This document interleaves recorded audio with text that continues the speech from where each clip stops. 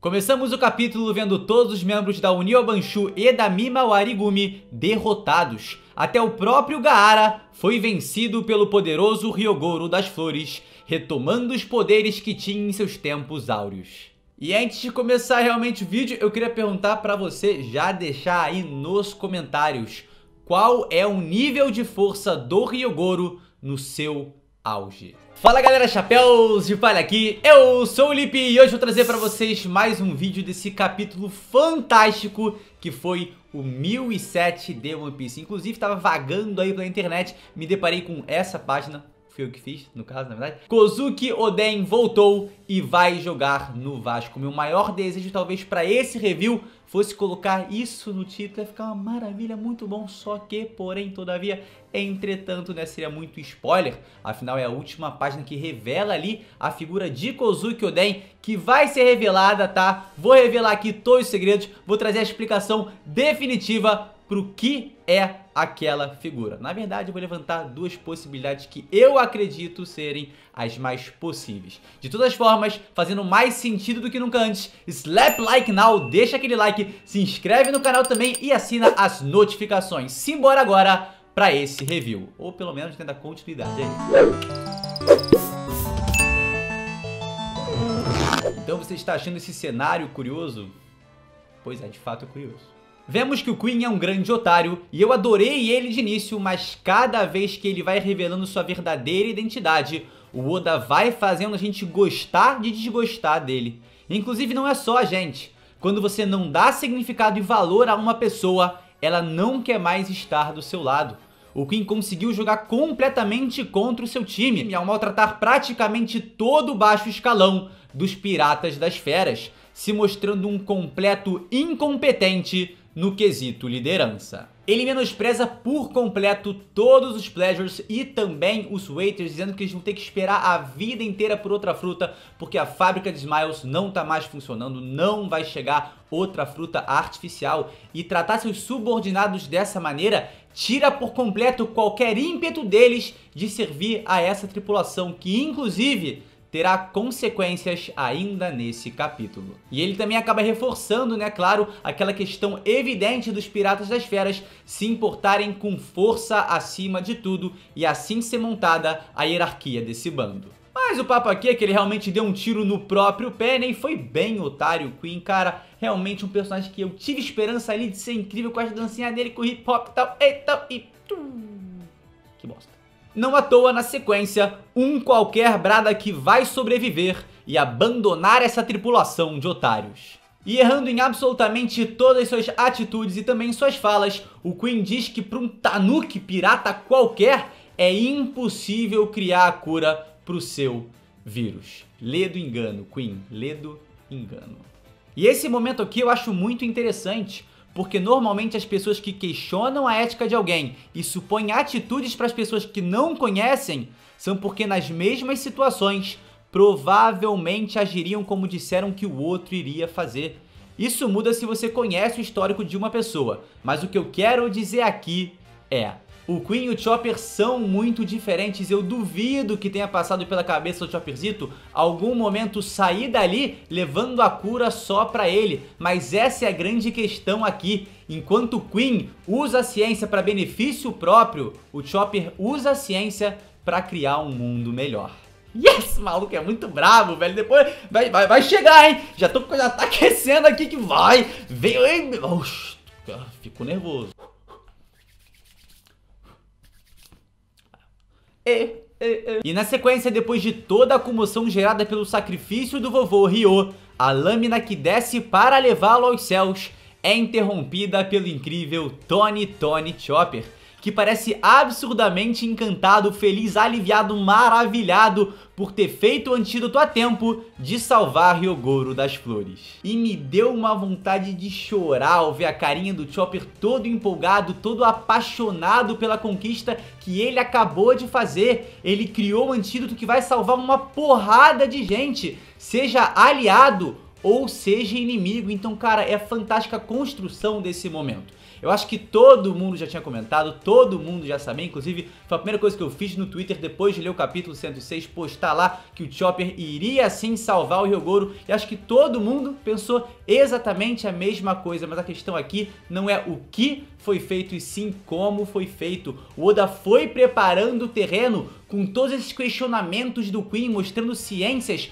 completamente opostas, éticas completamente opostas opostas. Então é lindo ver esse sorrisinho do Chopper, esse olhinho brilhando de paixão pelo que ele acabou de fazer. Eu achei simplesmente fantástico. E claro, né, para contribuir nessa construção, essa tensão em cima da suposta morte, do suposto sacrifício de Ryogoro das Flores, um ícone pro país de Wano, mas enquanto Tony Tony Chopper estiver lá, esse vovô não vai morrer. Meu irmão, tá chegando, velho. Show já.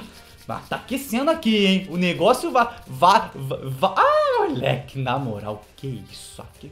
Oh, oh, oh, olha, olha, hein? E aí, como se não fosse suficiente, o Chopper ordena que atirem um canhão aos céus, gerando a propagação de uma cura em meio à explosão mais fofa que esse mangá já viu. Como esperado da nossa rena favorita, mas além de criar o antídoto, ele também encontrou uma maneira eficiente de aplicar nos infectados.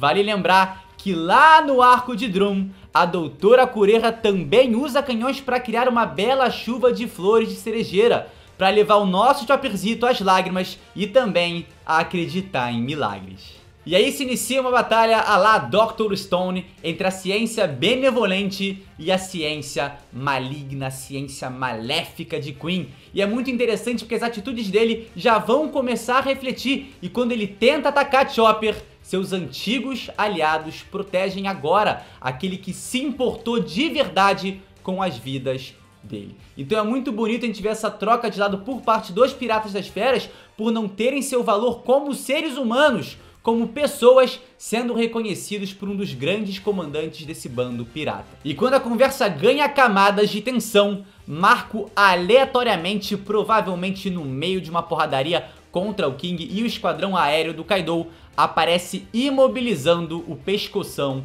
de Queen. Só um detalhe aqui, mano, como é que o Marco consegue ser onipresente? Como é que ele consegue ser tão incrível? Cara, na moral, é um personagem que tá trazendo toda uma diferença nessa batalha. É um cara que tá pesando muito, mas muito mesmo a favor da aliança. E claro, para contribuir ainda mais, o Marco pede pro Chopper se mostrar como se faz. E só para deixar uma coisa clara, eu não sou um Tanuki. Taylor.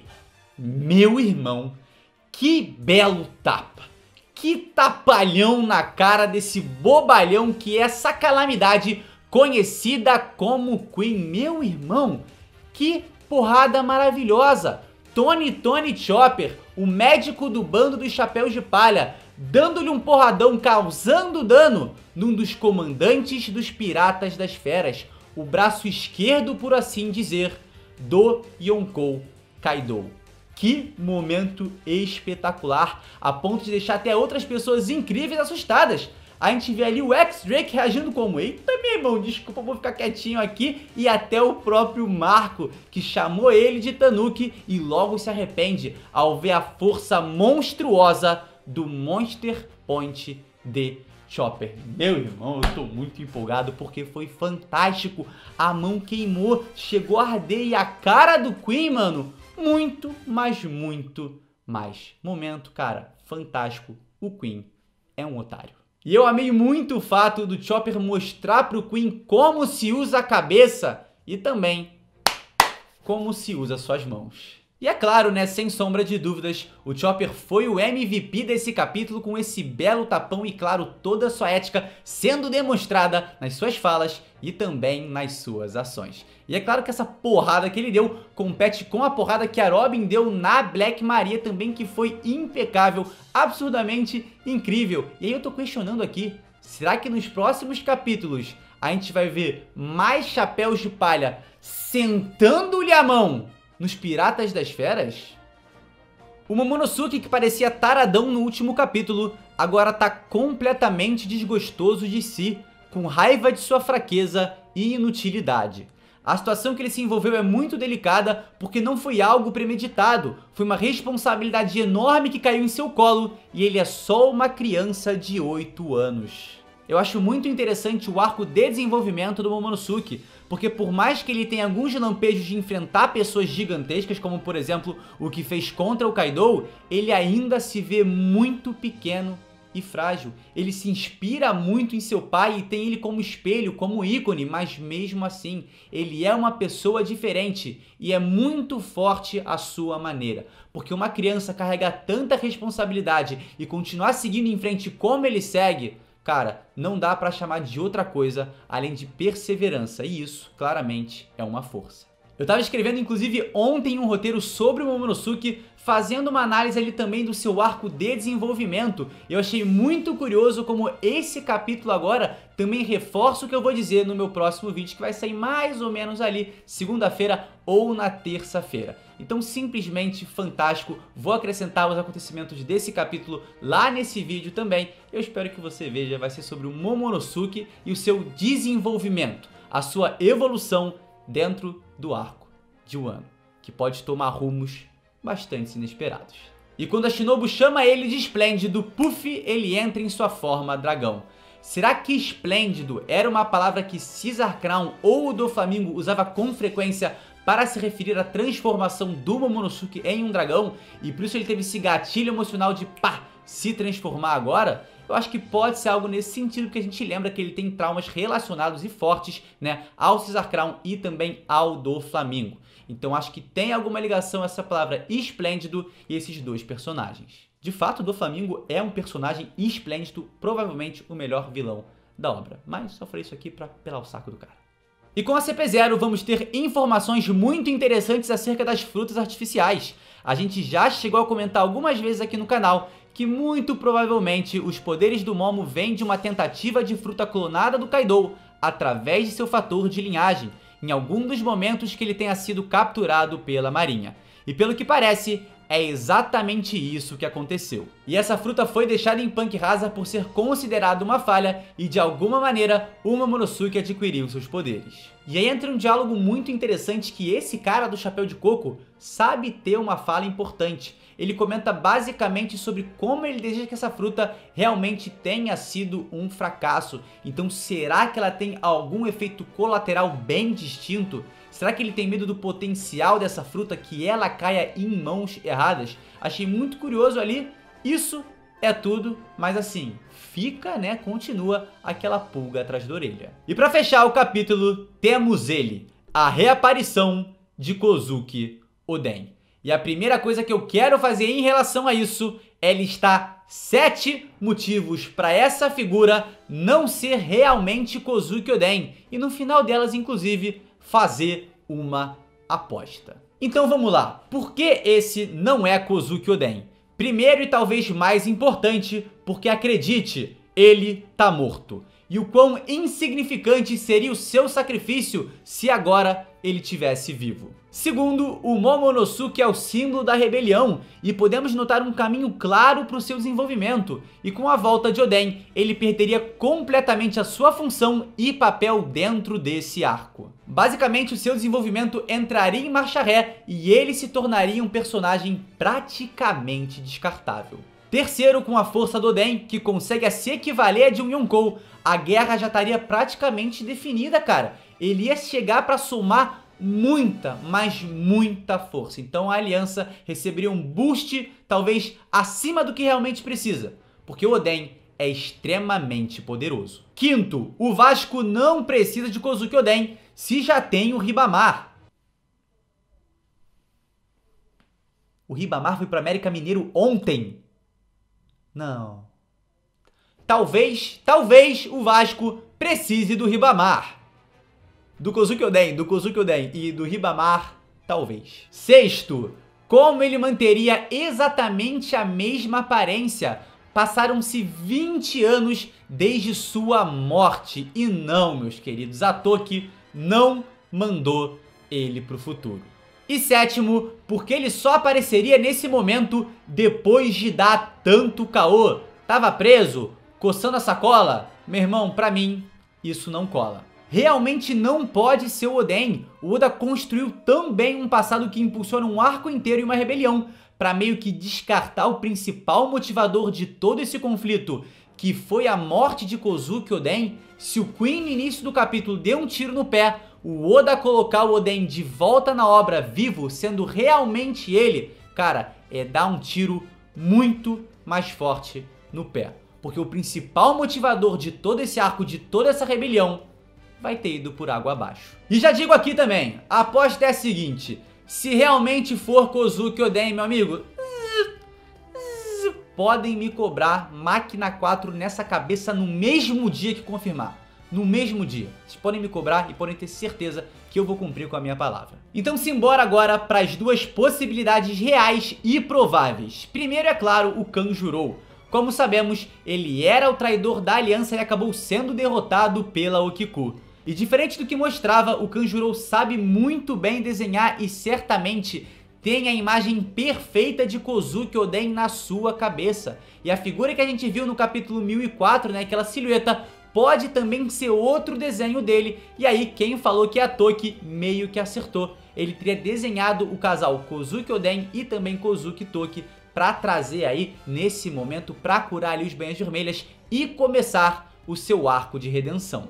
E essa é uma boa opção, eu daria mais ou menos ali 40% de probabilidade, mas agora vamos para que eu realmente acredito que seja, e aí eu vou dar 60%, 59% de probabilidade para ficar 1% ali com o bom clay, sei lá, tem umas viagens aí, né, que a gente até pode ver que difícil. Mas enfim, fica ali 1% para realmente ser o Oden, para realmente ser a que pode ter sido enviado, para ser o Bon Clay, para ser a Catarina Devon também, que eu, cara, acho completamente improvável. Então esse 1% fica aí para essas possibilidades, ao meu ver, mais improváveis. Então vamos lá agora para a opção que eu escolhi e seria minha aposta. Após a morte de seu mestre, Onimaru juntou forças com Kawamatsu para coletar durante 20 anos armas para a batalha final contra o Kaido.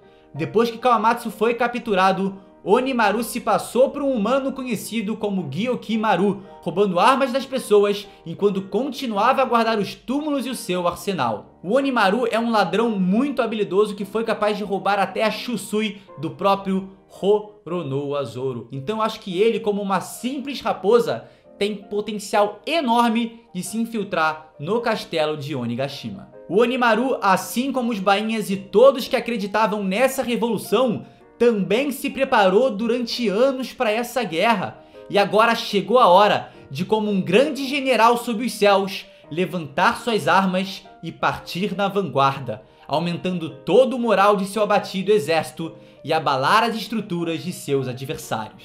A figura de Oden é capaz de motivar todos os membros da aliança, inclusive desestruturar aquele que é o maior inimigo deles, exatamente o Yonkou Kaido. Então eu acho muito interessante o Onimaru figurar ali como Oden para gerar esse efeito na moral da sua aliança e também contra a moral do exército inimigo. Então acho que pode ser algo nesse sentido que o Onimaru esteja figurando como Kozuki Oden em busca de trazer né, essa nova esperança, de trazer um novo respiro a aliança. Então, essa é a minha aposta, o Onimaru. E se for Oden, máquina 4. E só para deixar um ponto claro, eu acho que se fosse o Kanjuro, ele saberia desenhar a Ami no Habakiri e também a Emma, mas esse Oden tá carregando duas espadas aleatórias. Pode ser para trazer mais veracidade, visto que os Bainhas sabem onde estão as duas espadas originais? Pode sim ser, mas me leva mais a crer que essas duas espadas sejam parte do arsenal gigantesco de armas que o Onimaru guarda. Além, é claro, de que se for realmente o Onimaru, também justifica a silhueta no capítulo 1004, porque vocês lembram quem estava com ele? Exatamente, era a Hiyori, que junto dessa raposa yokai tão sagaz, pode ter se infiltrado no castelo de Onigashima e assim salvado os bainhas vermelhas. E esse foi o vídeo, eu espero de verdade que você aí tenha gostado, tá? Mas calma, deixa eu dar só dois recadinhos. Primeiro, o Derek vai participar ainda hoje do Pauta Secreta lá na One Piece X, então busquem sobre isso, vai ser uma resenha maravilhosa, sem sombra de dúvidas. E claro, também não posso já te falar que domingão vai ter uma live comentando esse capítulo, então chega lá para debater com a gente ao vivo e também a cores, a versão oficial da parada. Muito obrigado por me acompanhar até aqui. Deixa aquele like que ajuda pra caramba. Se inscreve aí no canal, além de, claro, adicionar as notificações, que é muito importante para todo mundo. Como vocês viram, a gente evita spoiler na thumbnail. Se não seria Kozuki Oden voltou e vai jogar no Vasco. Mas não tá assim. Deve estar tá outra coisa aí. Menos interessante, mas ainda assim legal. É nóis, galera. Muito obrigado. Valeu!